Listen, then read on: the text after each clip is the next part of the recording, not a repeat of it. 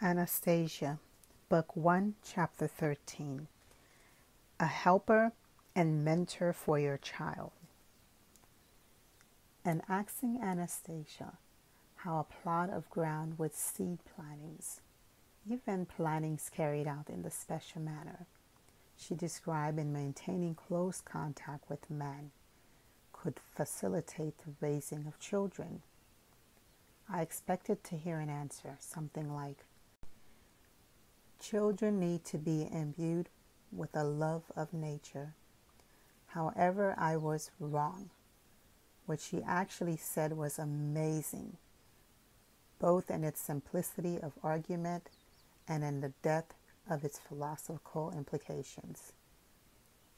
Nature and the mind of the universe have seen to it that every new man is born a sovereign, a king.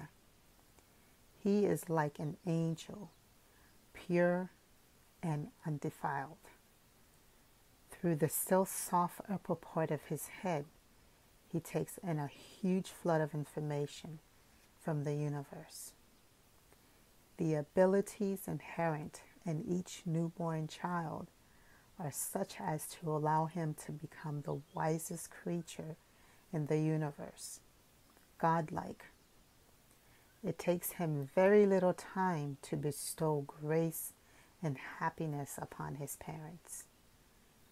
During this period, amounting to no more than nine earth years, he becomes aware of what constitutes creation and the meaning of human existence and everything that he needs to accomplish this already exists.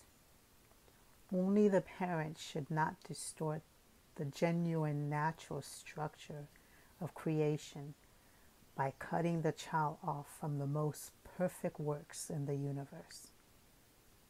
The word of technocracy, however, does not allow parents to do the right thing. What does an infant see with its first conscious glance around? He sees the ceilings, the edge of his crib, some patches of fabric, the walls, all attributes and values of the artificial world created by a technocratic society. And in this world, he finds his mother and her breasts. This must be the way things are, he concludes.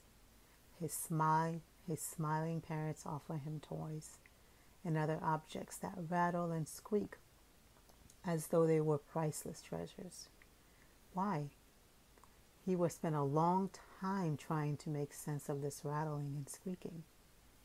He will try to comprehend them both through his conscious mind and his subconscious. And then these same smiling parents will try wrapping him up in some kind of fabric, which he finds most uncomfortable. He will make attempts to free himself, but in vain. And the only means of protest he has at his disposal is a cry, a cry of protest, an appeal for help, a cry of rebellion. And from that moment on, this angel and sovereign becomes an indigent slave, begging for hands out. One after another, the child is present with the accoutrements of an artificial world. He is rewarded for his acceptance by some new toy or item of clothing. And along with this, the thought is drummed into him that these are the dominant objects in the world where he has arrived. Still in his infancy, despite his status as the most perfect being in the universe, he is pandered to and treated as an imperfect creature. Even in those institutions you consider educational, where again he is constantly remind, reminded of the values of this artificial world. Not until the age of nine does he hear a passing mention of the existence of the world of nature. and then only as an adjunct to that other, more important world of manufactured objects. And, mo- and most people are never afforded the opportunity to become aware of the truth, even to the end of their days. And so it seems as though the simple question, what is the meaning of life, goes unanswered. The meaning of life, that is to be found in truth, joy, and love. A nine year old child brought up in the natural world has a far more accurate perception of creation than all the scientific institutions of your world, or indeed many of your prominent scholars.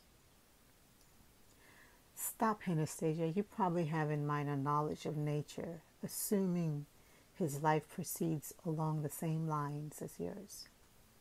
Here I can agree with you, but think today man's is obliged, rightly or wrongly, that is another question. But he is obliged to live specifically in our technocratic world, as you call it. Someone brought up as your prop someone brought up as you propose was certainly no nature and have a feeling for it. But in everything else, he will be an utter ignoramus. Besides, there are other sciences like mathematics, physics, chemistry, or simply just knowing about life and its societal manifestations. For someone who has learnt at the right time about what constitutes creation, those things are mere trifles. If he wants or considers it necessary to prove himself in some scientific field, he will easily surpass all others. How could that happen so quickly? Man in the world of technocracy has never yet invented anything that is not already present in nature. Even the most perfect manufactured device are but a poor imitation of what exists in nature. Well, that may be, but you promised to explain how a child could be raised and his capabilities develop in our condition. Only talk about this in a way I can understand using concrete examples. I should try to be more concrete, replied Anastasia. I have already visualized and I have already visualized situation like this and have tried to hint to one family what they should do. Only there was no way they could have grasped the cru- crucial point and asked their child the proper questions. These parents turned out to have an unusual, pure, talented child who could have brought tremendous benefit to people living on earth. So these parents arrive with this three year old child at their dacha plot and bring along his favorite toys. Artificial toys, toys, which displace the true priorities of the universe. Oh, if only they had not done that. Just think. The child could have been occupied and entertained with something far more interesting than senseless and even harmful interaction with manufactured objects. First of all, you should ask him to help you. Only ask him in all seriousness without any pandering, especially since he will actually be able to offer you, you assistance. If you do any planting, for example, ask him to hold the seeds in preparation for sowing, or take out the seed beds, or have him put a seed into the hole you have prepared. And in the process, talk to him about what you were doing. Something like this. We will be putting the little seed into the ground and covering it with earth. When the sun in the sky shines and warms the earth, the little seed will get warm and start to grow. It will want to see the sun, and the little shoot will poke its head out of the earth, just like this one. At this point, you can show him some little blades of glass. If the seed likes the sunshine, it will grow bigger and bigger and maybe turn into a tree or something smaller like a flower. And I wanted to bring you tasty fruit, and you will eat it if you like it the little shoot will prepare its fruit for you. Whenever you arrive with your child at the dacha plot or when he awakes first thing in the morning, have him look and see whether any shoots have come up. If you should notice one, show your delight, even when you are putting young plants rather than seeds into the ground. It is important to explain to your child what you are doing. If you are planting tomato seedlings, for example, let him hand you the stalks one by one. If a stalk should inadvertently break, take the broken stalk into your hands and say, I do not think this one is will live or bear fruit, since it is broken. But broken, but let us try planting it anyway, and plant at least one of the broken ones right along with the others. A few days later, when you visit the seedbed again with your child and the stalks, have firm up, point out the broken, withering stalk to your little one, and remind him that it was broken during the planting. But do not use any preaching tone of voice in doing so. You need to talk with him as an equal. You should bear in mind the thought that he is superior to you in some respects. In the purity of his thought, for example, he is an angel. If you succeed in understanding that, you can then proceed intuitively, and your child will indeed become a person who will happify your days. Whenever you sleep under the stars, take your child with you. Lay him down beside you. Let him look at the stars. But under no, circumstance, tell him the names of the planets or how you perceive their origin and function since this is something you do not really know yourself.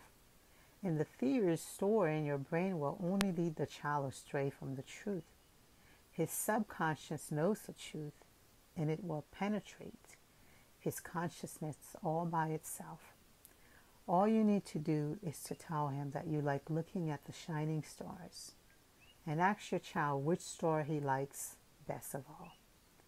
In general, it is very important to know how to ask your child questions. The next year, you can offer your child his own seed bed. Fix it up and give him the freedom to do whatever he likes with it. Do not ever compel him by force to do anything with it.